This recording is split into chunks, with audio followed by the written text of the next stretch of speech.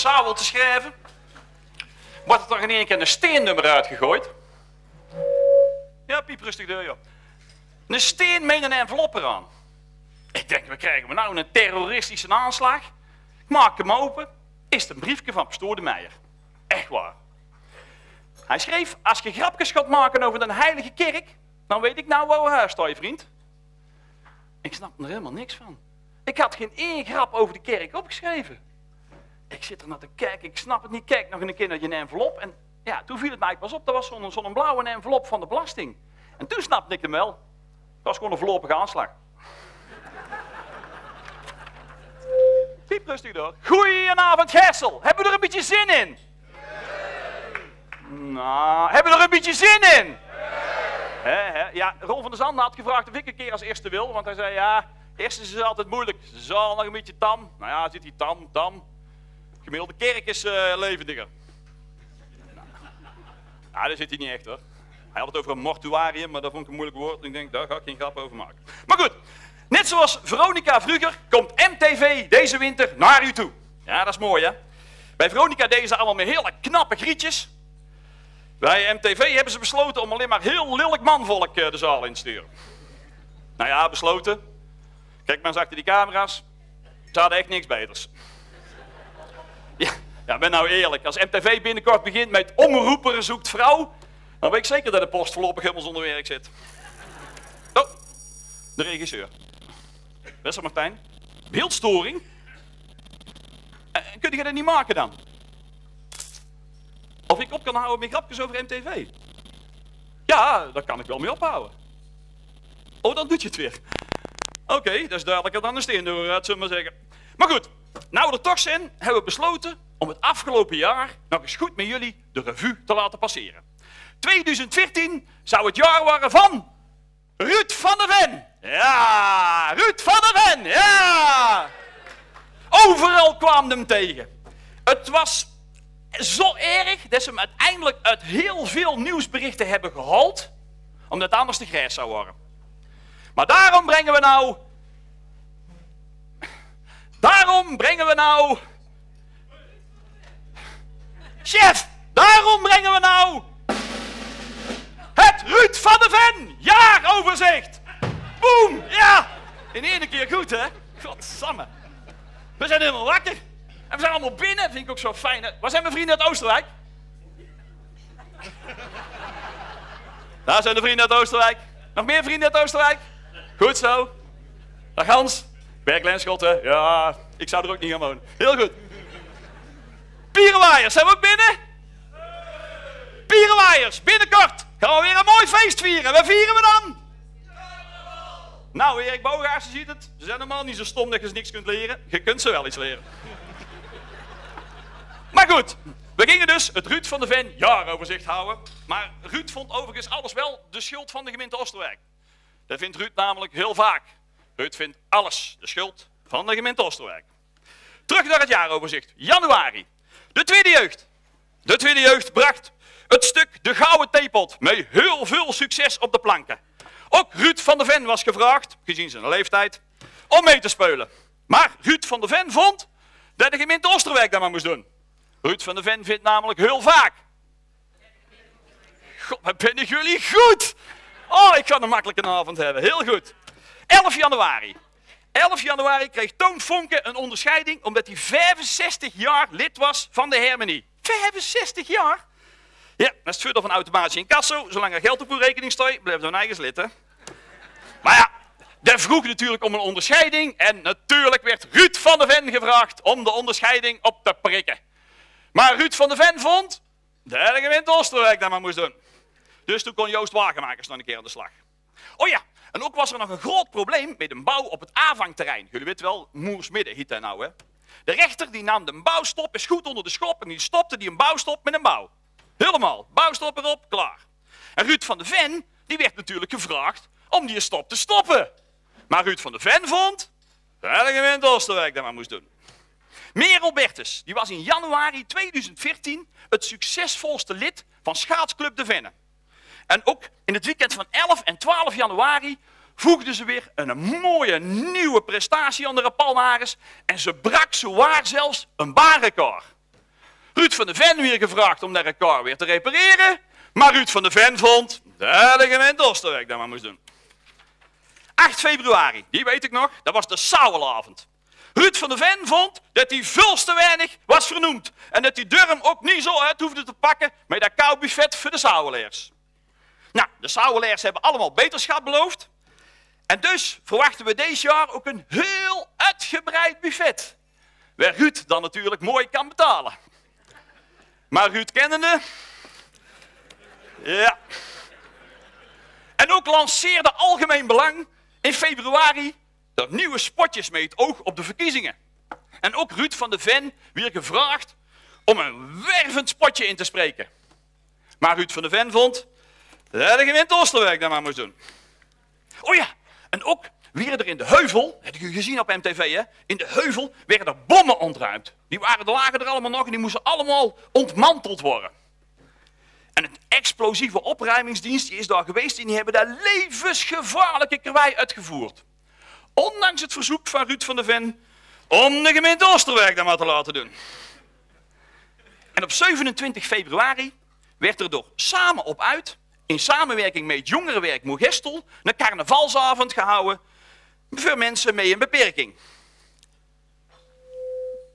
Ook Ruud van der Ven weer uitgenodigd.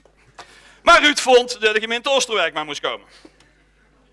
En op 1 maart kwam hij voor het eerst in het nieuws. Mijn grote held. Johan, wat ben je? Johan van Wezel, ben er? Ga staan, jongen. Ga staan. En een grotere held hebben we in niet. Applaus voor Johan. Ja, goed bezig, Johan. Met een held, hè. Hij kwam voor het eerst het nieuws op 1 maart 2014, toen hij achter een paar winkeldieven aangingen. En zij konden met achterlating van de buit en een oude Ford Transit, konden ze er nog net van tussen gaan. Omdat ze zonder auto zaten, heeft Ruud van de Ven ze aangeboden dat ze bij hem nog wel een goede, bijna nieuwe tweedehands konden kopen. Mits, heel slim, ze wel cash konden betalen. Maar de dieven vonden dat de gemeente Oosterwijk dat maar moest betalen. En ook bestond de zanggroep Inspiration, tien jaar. En die kennen we, Inspiration. Een goede clubje. En omdat koor vooral het vrouwen bestond, en nog steeds, zijn ze ook nog steeds driftig op zoek naar zingend manvolk. Ruud van de Ven weer ook gevraagd. Maar de gemeente Oosterwijk vond dat Ruud ons dat maar niet moest aandoen. Het weer augustus. En de Jumbo heeft ter hoogte van de Klare, heb je gezien, hè, een nieuwe ingang gekregen. Maar er stond een boom lelijk in de weg. Dus de gemeente weer gevraagd of ze mee wilden werken om die een boom te zagen. En verrek, dat wordt de gemeente wel. Ruud van de Ven was wel zo wijs, de ervaringen uit het verleden, om een foto te maken van de boom die omgezaagd moest worden. En die heeft hij in een mail naar de gemeente Oosterwijk gestuurd. Samen met een aantal foto's van bomen die absoluut niet omgezaagd mochten worden. En hij had er geloof ik ook zijn vakantiefoto's van Schwarzwald bij gedaan. Hij had er wel tekst bij gedaan, maar dat was een beetje een klein lettertype. Ik weet niet of je ooit de website van Algemeen Belang hebt gelezen. Maar dat is uh, lettertype 1, geloof ik, of zo. In elk geval, wat er ook gebeurd is, het resultaat was wel, en dat mag best een keer van worden, dat de gemeente Oosterwijk de goede boom heeft om laten zagen. Ja.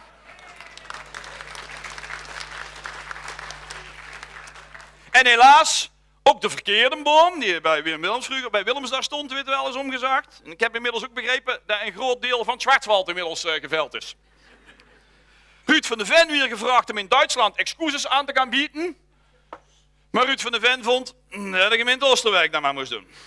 Oh ja, in die maand ook besloot de Rabobank om in de binnenstad van Moergestel een mooie, prachtige pinbunker neer te zetten. En omdat hij nieuw was, schrikt half Kersel zijn eigen sowieso een hoedje.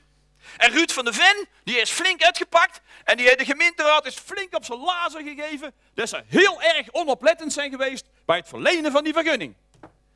Tot je erachter kwam dat hij zelf ook in de gemeenteraad zat. Toen heeft hij de schuld maar bij de ambtenaren neergelegd.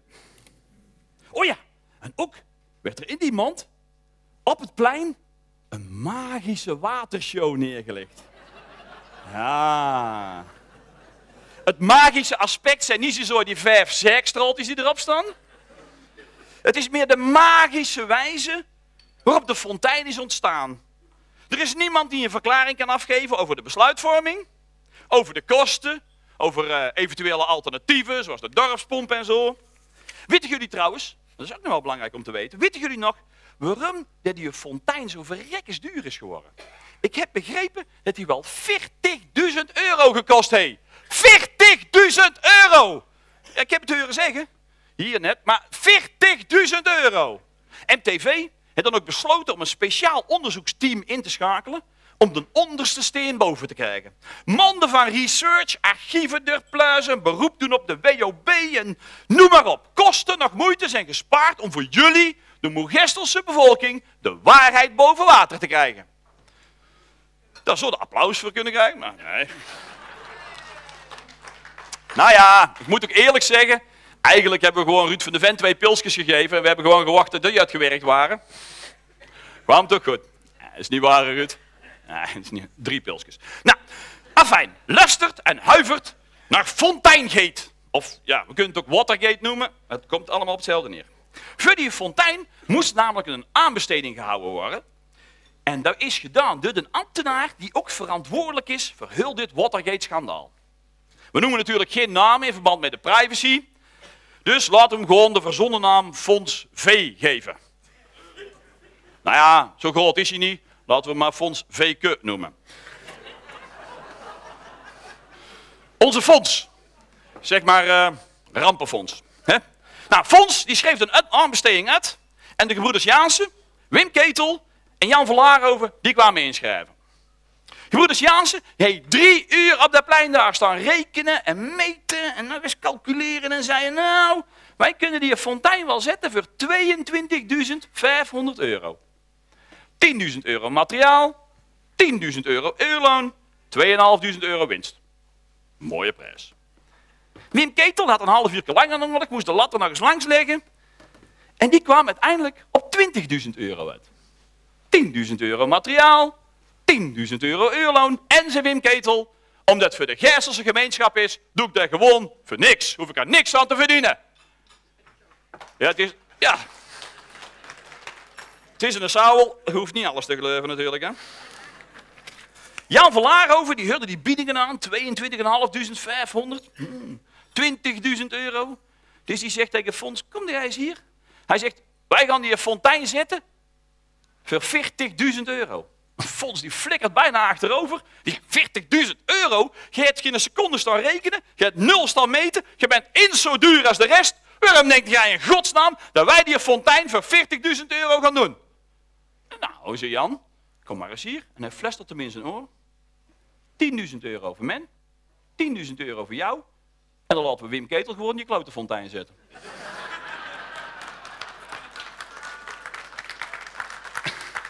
en verder zal ik maar zwijgen over die fontein. En de collega's willen ook nog een beurt. Sportnieuws, heel belangrijk sportnieuws. Audacia. Audacia zocht een nieuwe hoofdsponsor.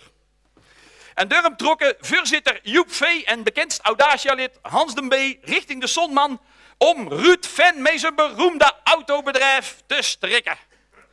Maar ze kwamen van een koude kermis thuis, want ja, weet je wel, wat dat kost ze Ruud. Die bovendien ook vond dat de gemeente Oosterwijk dat maar moest betalen. Nee, zei Ruud, ik denk er niet aan. Geen haar op jullie kop. Wij dan overigens, de eerste keer was de Ruud wel gelijk had, hè, ja. Hoe is het Ruud, ben je zo genoeg genoemd? Dan zal ik nog wat algemeen nieuws van 2014 doornemen. Mochten we naam nou nog genoemd worden, is het puur toeval. Oh ja, aan de sportnieuws. Dat was geweldig. Gijssel golft. Het gezien op MTV? Oh, daar hebben we ook weer zo'n mooie reportage van gemaakt. En, en dat was helemaal goed. Alle Moegestelnaren konden dus het afgelopen jaar gaan golven. En dat was dan wel in Tilburg. Organisator Jos van der Zanden die vertelde vol trots voor de camera van MTV dat het vooral om de gezelligheid moest gaan. Gezelligheid boven alles, Jas. Na de uitzending werd hij meteen gebeld door een kwaaie voorzitter van Oosterwijk Golft, waarom dat zij niet uitgenodigd waren. En dus herhaalde Jos, het moet vooral om de gezelligheid gaan. Maar op die golfbaan in Tilburg ging heel golvend Gijssel uit zijn dak. En omdat je tegenwoordig geen één activiteit meer kunt organiseren zonder Stanislaus erin te betrekken, besloten ze om Graat Ketel maar eens mee te nemen. En dat kan zich Graat, want ik heb vroeger heel veel en heel goed gegolfd. Ja, dat veel als je honderd bent. Er is niemand meer die tijd die u nog kan tegenspreken. Hè? Dan kan ik rust zeggen. Dus Graat ging samen met Kees Kouwenberg in zo'n kerken zitten. En Graat maar zit daar snoeven over hoe goed dat hij vroeger was. En op enig moment slok Kees zijn bal van de fairway in de ruf. Voor niet golfers, dat is van de wal in de sloot, maar dan in het gras. En balkje komt op een meter of vijf van een tien meter hoge boom terecht. Precies recht in de richting van de vlag. Dus Kees stond dat te kijken en kijkt en ja, wat zou ik doen? Zal ik hem, ja, ik rechts omheen slaan? Zal ik hem links omheen slaan? Ja. En Graat zit in de kerk en zo en die kijkt zo eens. Toen ik zo jong was als jou, hè, sloeg ik die bal zo over die boom in. Ja, en Kees, verdomme, dat is lekker lullen, een beetje snoeven en zo, dat is mooi, maar dat is hartstikke moeilijk als een hoge boom. Maar ja, ik zal me toch ook niet dat je nou een beetje vergek laten zetten. Ik ga het gewoon proberen. Dus hij, Kees, die kijkt en die holt uit en die slaat die bal omhoog. Bovenin die boom, zo naar beneden en valt op dezelfde plek op de grond neer. Kees staat een beetje beteuterd te kijken en ik kijkt zo schouw een keer naar Graat. Ja, zeg Graat, vergoelijk erbij. Ik moet er wel bij zeggen. Toen ik zo oud was als jou, was die een boom pas een meter hoog.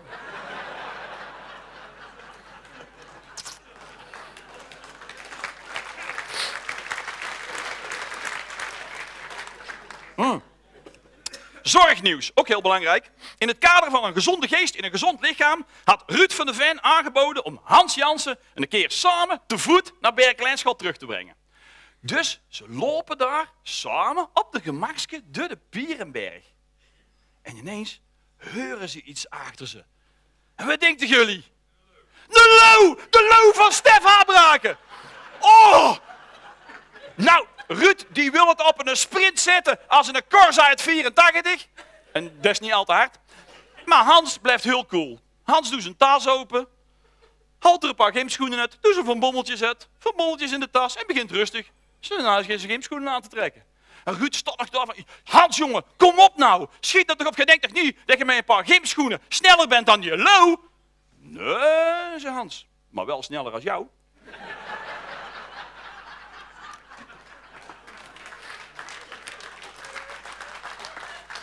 Ja, ik zie die mevrouw daar kijken van uh, gimpen in uw tas, dat past toch helemaal niet? Maar pas op, hè, ik zie wel eens vrouwen tegenwoordig aankomen, die hebben een tas bij. Dus zo'n tas had ik vroeger ook, als ik ging sporten. Ik was ijshockeykeeper, zo'n tas, weet je wel. Maar, geen grappen over vrouwen. Hou er niet van, want vrouwen zijn altijd beter dan mannen. Of niet, dames? Ja. Ik zal een simpel voorbeeld geven. Als mannen te veel gaan drinken. Dames, als mannen te veel beginnen te drinken, beginnen ze slap te ouwehoeren. Dat klopt toch, hè? Ja, absoluut. Als mannen te veel gaan drinken, worden ze ook nog eens emotioneel. Klopt dat, dames? Ja. Oh ja, als mannen te veel gaan drinken, dan denken ze dat ze nog steeds goed auto kunnen rijden. Terwijl ze dat helemaal niet kunnen, hè, dames? Nee. En als mannen te veel drinken, dan denken ze helemaal niet meer na en maken ze ruzie om niks. Klopt toch, hè? Ja. Nou, vrouwen hebben daar helemaal geen drank voor nodig.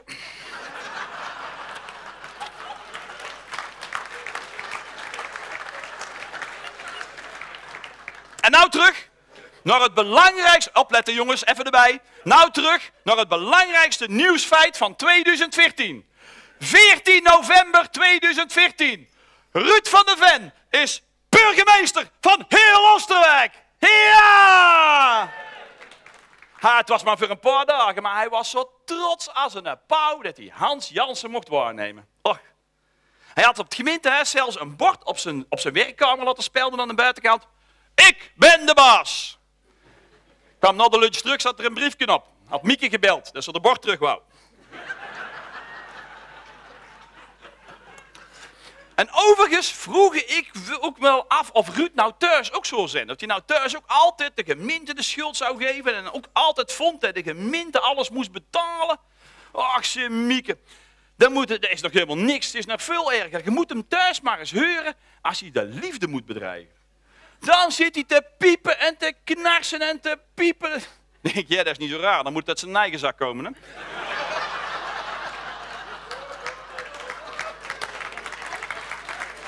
Maar goed.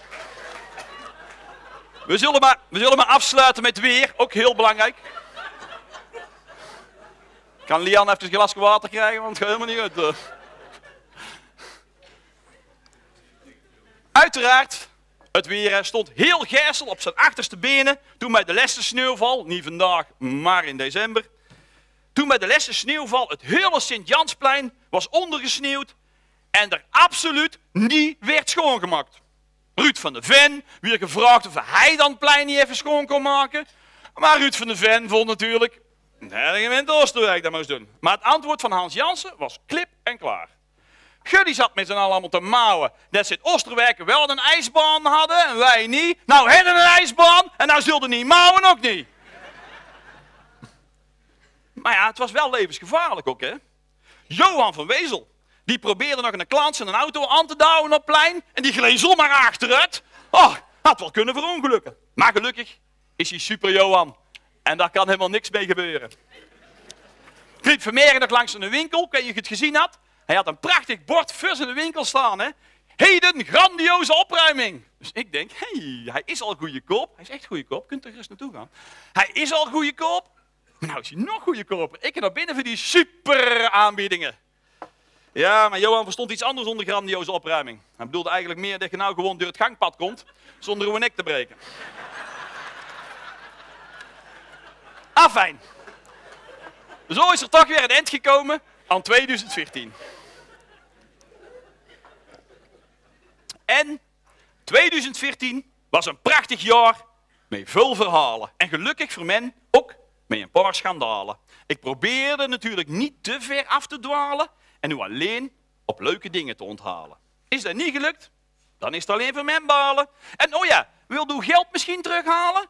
Dan zeg ik, samen met Ruud van de Ven, Lotte. Houdoe.